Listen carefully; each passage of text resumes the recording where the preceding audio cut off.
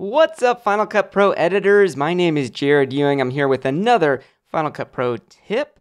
Today's video, I want to talk about logos. I've been getting a lot of questions, emails, direct messages on Instagram, different places, where you've received a logo file and you want to put this down in the corner of your video, but it's not a transparent logo, meaning it either has a black background or something else around it and it just doesn't look that great. So, hopefully, these tips will help out and get you started in the right direction for fixing those logos and making your videos look a little bit better compared to what they look like right now. So, to do this, I have three logo files on the desktop here. One of them is a JPEG, and I'm going to use a quick look here just by hitting the space bar to preview this. And you'll notice this file is the logo with a black background, solid black background. So that's one of the files, and this is the most common that I see people getting and then having issues with. Above that, I have a Photoshop file, it's a .psd. If I hit the space bar, looks very similar, has that black background. And then the last one above it is a PNG file. And if I hit the space bar again, it previews it. Only this one, you'll notice there's not a black background. It's actually a transparent background. And this is the file that we want to have. This works the best because you don't have to do anything. Just bring this in the Final Cut and the background's transparent. You can put it in the corner. So let's actually do this. Let me show you what this looks like in Final Cut. I'm to switch over here. I'm to shrink down my interface just to make this easier. And just to set you up, I have an empty Final Cut Pro library. There's nothing else in this library, just one empty event. So I'm to select all three of these files and just drag them onto that event. And you can see all of them are compatible. They all come right into Final Cut, no issues there. And if I scrub across them, they all look, you know, very similar. Obviously, the dimensions, this one's a square one. You know, the dimensions are a little bit different. That's fine. That's not what we're dealing with. But now I'm going to create a new project. And I'm just going to hit OK. I'm not going to name this project. It's just for a demo. However, name your projects. It's very important to keep things organized. So now I have an empty project on the bottom here. I'm to go into my titles and generator sidebar. I'm to grab a background. I'm just to grab this blobs background. And for this example, this blobs background is whatever video you are editing. I'm to hit Shift Z, Shift Z to fit that uh, on the timeline down here. And then I'm to go back to my files here and just I'm just to drag these on the timeline so you can see what these look like. So let's do this first one here, which is the logo. I'm just to see it's super large here, so I'm going to use the transform, the scale here to shrink this down. And so this first one here is the Photoshop file. You can see it has a black background around the edges there and not exactly what we want. So now I'm going to go over and select the square one. This is the JPEG image. And you can see the same thing. I could shrink this one down, but still has that black background. And then if I go and grab the PNG file, You'll notice this one does have transparency, so this actually looks great. I can go up to my view menu, I'll hit my title and action safe zones, and then I'm going to shrink down the logo. I'm going to use the transform tool to move this over into the corner. Maybe I want to go even a little bit smaller than that. Looks pretty good here. And I can even take the opacity here, shrink down the opacity just to make it transparent. And I'm really, I'm done, right? There's nothing else I have to do with this. This is how you can get your logo or watermark, whatever you want to put on your video down there. And that's because it has transparency. So transparency is really important. But what about these other files, right? This is our square one. How can we get this one to work? Or even the Photoshop file, how can we get this one to work? So with the Photoshop file, hopefully you are the one that made this in Photoshop and you can just go in there and disable that black background layer. And then when you export the file, you should be able to include transparency or an alpha channel. That's really what you want to include. If you didn't create this Photoshop file, go to whoever did and ask them to send you another one with a transparent background or with an alpha channel. That's what that is also called. However, uh, that's something that if you're working with Photoshop files, you have the tools that tends to be a much easier process. If you don't have access to those files, you might not be able to, to get access to a broken up file where you can actually go in and, and remove all that. There's a couple tools built into Final Cut to help with this. The first one I'm going to talk about is called blend modes. So if you select your clip, which in this case is the logo, not the background clip, you want to make sure your logo is selected. You can go into the video inspector And there's this compositing section that's usually at the top. And you'll see on the right side, we have a blend mode right now that's set to normal. And what this blend mode does, there's a whole bunch of them. You can see a whole list of them there. This is how the selected clip, in this case our logo, blends with what's behind it. So there's a bunch of options here. If I wanted to, I could say subtract, for example, and then you'll see some colors get subtracted out, like the black background there does, but then it messes up the entire logo. Doesn't look the way we want it to. So when you're dealing with effects and doing some other work, you might want to use that blend mode. But in our case, what we want to do is just remove the black background and keep our, our logo there. So if we go down, there's a couple stencil and silhouette options here that you can play with. Uh, the stencil ones are kind of cool. to use your image as an actual stencil. So in this case, it's the alpha, which there's no alpha, but we have some luma. So now we're creating a stencil to what's behind there in our background. So cool effects there, but in our case, we want to silhouette our, our foreground here. So we don't have an alpha channel, so if we do alpha, the entire thing turns black. But if we go down to luma, it's looking at the luminance for that file. And if your logo is just a black and white uh, picture, like the black background with white text, for example, this actually might work really well to silhouette just that text. But in our case, this logo is actually colored. So it does remove the black background, but kind of messes up the rest of the logo. So not exactly what I want here. Now you can definitely go through and try some of these other blend modes, and you might get one that gets kind of close to what you want and it works pretty well. And if that's the case, awesome, go for it. But in my case, with my logo here, I don't, I don't like the way the blend modes are working. So I'm going to try something else. And in this case, I'm going to try using a keyer.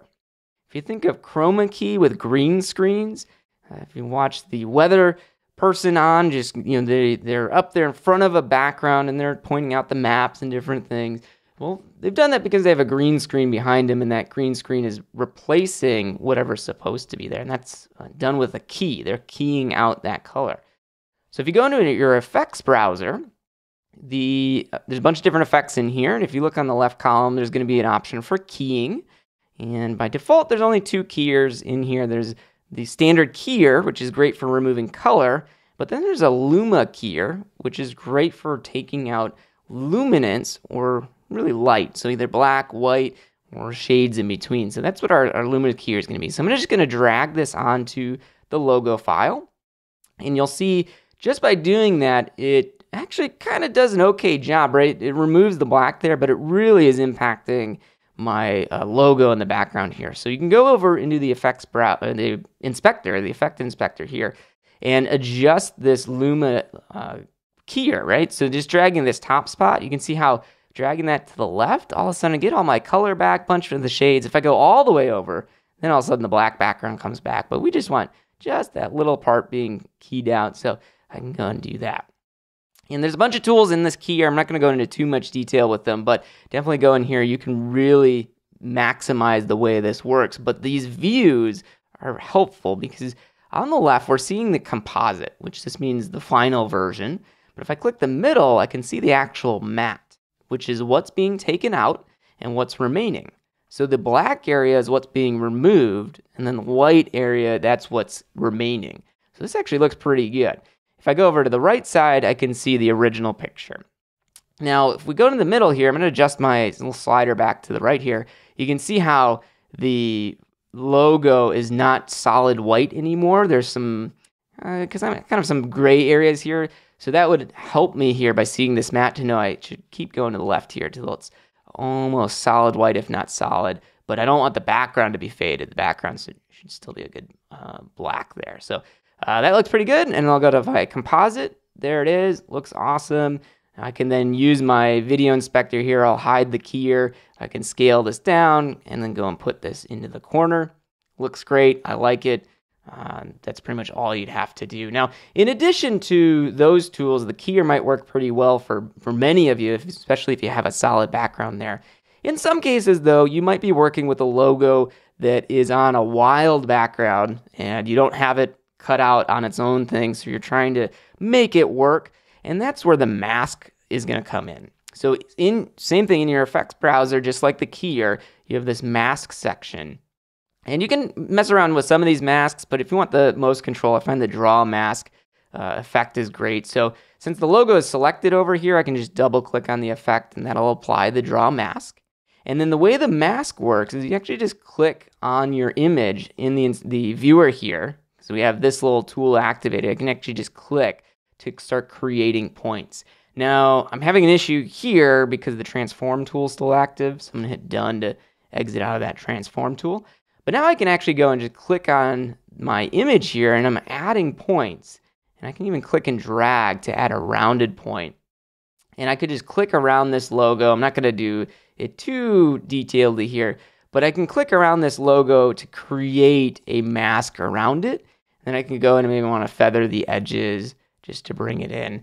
And now I've created a mask around that logo to remove whatever background is behind it. In this case, it was just black, so I might want to use the keyer or blend mode, but you don't have to have any of that. You could have just the logo and you can use these masks and this draw mask effect to crop it out and get in close. Just understand that working with this mask, you are gonna wanna spend a lot of time to get this accurate. You're gonna wanna go into your zoom here and go into 400 or 600%, navigate around to get in really close to these different points, especially if you don't wanna use the feather. You can then do this to, to really get right on the edges and edit all these points. You can hold down Option to add in additional points if you need to. And you can also right click on any of these points to change them from a linear, just straight line between those points, or smooth it out to have these Bezier handles to be able to round the edges. Again, that's a lot more work to use those masks, but can really make your logo stand out, especially if you don't have a transparent file. This can really help. Now, one last trick, because you have these tools. You have Mac OS. It's a great operating system. There's a lot of things that you get for free. So let me go outside of Final Cut. I'm actually going to minimize this. Go back to our logo file. Let's say we do have this JPEG file, and I'm just going to double click on it, and that opens it up into preview. If it doesn't do that for you, you can also right click on the file, say open with, and then choose preview from the list. It might be opening up into Photoshop or another file. But if you go into preview, Preview lets us see really clearly that this is not a transparent file. It's got this black background. If I double click on my transparent one, we notice in preview, let me shrink it down so we can see them side by side. It's got just this uh, kind of almost pure white background behind it. So that lets me know it is a transparent file. I can shrink it way down. Whereas this one, no matter how I adjust it, you can see that black background still there, right? So if this is the case, I like to go into pre uh, into pages. So if I've seen it in preview, I'm gonna open up pages, which again, if you're new to Mac OS, if you have a new Mac, you get this for free. It's included with the Mac, and it's just a word processing application and page layout, page design. But you can actually go in and just drag in your image file, which again in this case is a JPEG image. And with it selected, I'm gonna go to the image tab over here, which is under the format uh, button. If you don't see that, just click Format. You'll see Image, and there's an option here for Instant Alpha. And like the little tooltip said, says there, it makes part of the image transparent. So I can actually click on this and then just click and drag across my, the black area to make it transparent. The further I drag out, the more things it's making transparent. So in this case, I'm doing it with black, so even almost at 0%, it, it does a pretty good job in removing that but you can click and drag this out further if you need to.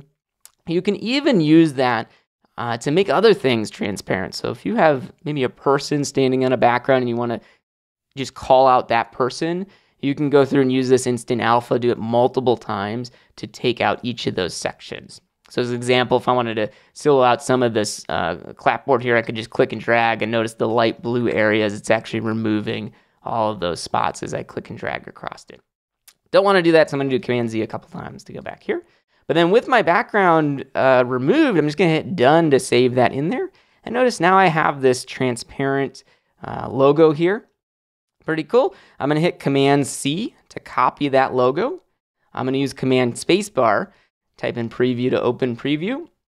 And in Preview, I'm going to go up to the File menu and say New from Clipboard. What that means, is the clipboard is where you copy stuff. So if I do New from Clipboard, Notice we have a new document here with the logo that is transparent. And I can just go up to File and save this file. And i am creating a new logo file like I have on the desktop back here with this logo. So I'm going to use Final Cut Pro Help, logo. And that's should be all I need to do there. And the important thing when you're saving this file, and I mentioned it earlier when you're dealing with Photoshop or any of these apps, but the key is you want to make sure that alpha is enabled. So some of these formats, if I choose JPEG for example, I don't get an option to enable this uh, alpha channel, which then I'll just have a black background, defeats the whole point of all this. So you want to choose a format that gives you the option to enable alpha, like a TIFF file or a PNG. Make sure that you have the option to enable an alpha channel to, to get that transparency. And I'm going to save this onto the desktop, hit save. Let's close out a preview, close out of pages. I don't need to save that. I could delete that file. I'm going to go back into Final Cut. I'm going to drag in my new logo here, which is on the desktop that we just created. And notice now it does have the transparent background in it. I can just scale this down and move it over, put it wherever I need. It's ready to go. I can even mess with the opacity. Uh, you could still do a blend mode too if you wanted to blend that in the background. But now I have my logo back there. Looks great. And the big benefit, why you should take the, the couple extra minutes there to go into pages and preview and remove that background, is that the logo is ready to go. So you could use this across multiple projects, move it between libraries, wherever you want to go, and it's ready. The blend mode is great, using a keyer is great, but it, you don't want to do that every single time you have to work with a file, especially if you're going to be using this on multiple projects. So if that's the case, try to get that alpha channel and if you can from the original designers of the logo, if you're using Photoshop, go in and do that. If not, use this trick, go into pages uh, and preview and, and, use those tools that you have uh, to remove that background and get yourself a transparent file. There are probably other tips out there and other tricks that you can use. This is the way that I do it. If you have a better way to do it or have any feedback, put it down in the comments below this video. Always appreciate that. If you have another question that you want answered, just send an email to finalcutprohelp at me.com and make sure to subscribe. We do a live show and we have a bunch of those you can watch right now on replay. We like to answer all kinds of weird questions through there. And don't hesitate, reach out. We're here to help anytime at Final Cut Pro Help on Instagram, Twitter, all the good stuff. All right, have a great day, everyone.